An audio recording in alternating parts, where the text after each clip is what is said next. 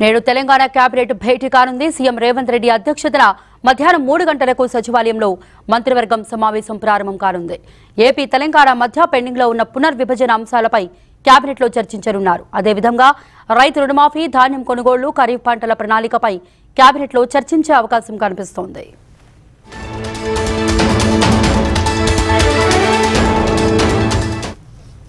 Parliament ఎన్నికలు ముగియడంతో CM Revanth Reddy పాలనపై దృష్టి సారించారు.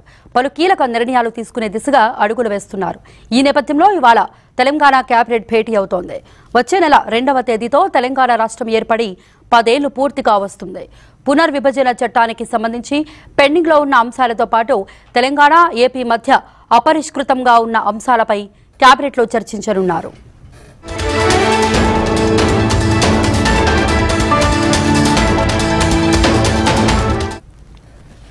ఎన్నికల ప్రచార సభలో హామీ ఇచ్చిన విధంగా ఆగస్టు పదిహేనులోపు రైతు రుణమాఫీ చేసి తీరాలని సీఎం రేవంత్ రెడ్డి పట్టుదలగా ఉన్నారు. అందుకు అవసరమైన నిధుల సమీకరణపై ప్రభుత్వం దృష్టి సారించింది.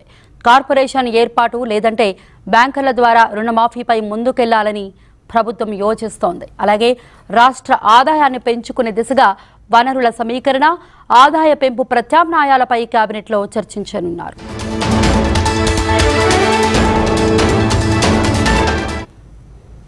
ఇక కుంగిపోయిన మేడిగడ్డ బ్యారేజ్ మరమ్మతులకు సంబంధించి నేషనల్ డ్యామ్ సేఫ్టీ అథారిటీ ఇటీవలే మధ్యంతర నివేదికను సమర్పించింది. నివేదికలోని సిఫారసులు తదుపరి చేపట్టాల్సిన కార్యాచరణపై కేబినెట్ చర్చించనుంది. ధాన్యం కొనుగోలులో పురోగతి వచ్చే ఖరీఫ్ పంటల ప్రణాళికపై కేబినెట్లో చర్చ జరగనుంది. వచ్చే నెల నుంచి కొత్త విద్యా సంవత్సరం ప్రారంభం కానుంది. విద్యార్థుల నమోదు పాఠ్య పుస్తకాలు యూనిఫామ్ల పంపిణీ వంటి అంశాలపై కూడా కేబినెట్లో చర్చించనున్నారు.